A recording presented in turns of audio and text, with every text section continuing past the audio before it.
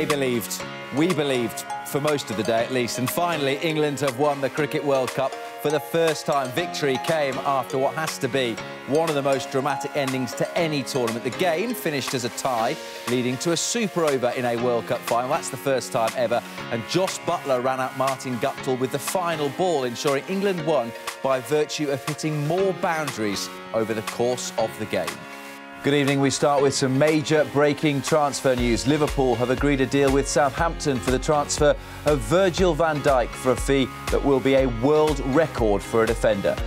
A reminder of the breaking news this hour. England have won the third Ashes Test at Headingley by one wicket, thanks to one of the great innings from Ben Stokes, 135 not out. You mentioned Andrew Flintoff there in 2005, Shades, as well as Sir Ian Botham in 1981. I mean, how does what Ben Stokes has done today compare to those two, particularly to, to Sir Ian at the same grounds? Sterling, he has called for severe punishment for this, and it's looking quite likely he might get some.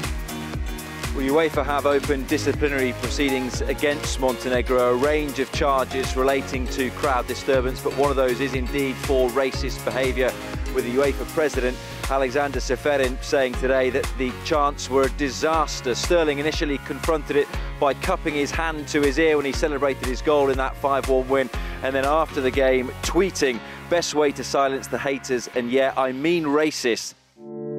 I was scared. I just couldn't wait to get sleep at night but I didn't want to wake up in the morning. You're trapped in a, in a cage and you're trying to get out and it just keeps getting smaller and smaller and there's just no way out of it. This was what remained of Chris Kirkland by the end of his professional career. Do you think that there are senior players, well-known players in the game at the moment that would be struggling with something similar? I'd be amazed if they're not. Jurgen, it wouldn't be this club in this city without a bit of drama, would it? yeah, obviously.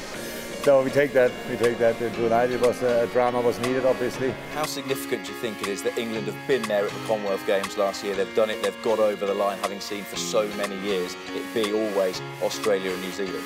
100%. I'm, I'm not just saying this will be the closest World Cup ever, it will be. Good afternoon, welcome along to what is effectively the sixth unofficial test, where the standard is a lot lower than we'll be seeing at Edgbaston, which is just over there tomorrow. I'm mediating between the Australian fans and the Barmy Army, the England fans as well. We're going to make our guests wait for just a moment. Come to the England supporters first. We've heard Tim Paine speaking this afternoon about he's not worried about the Edgbaston atmosphere. Would you care to counter that? Um, I've got a feeling that Tim Paine might come to regret those words in a few days' time.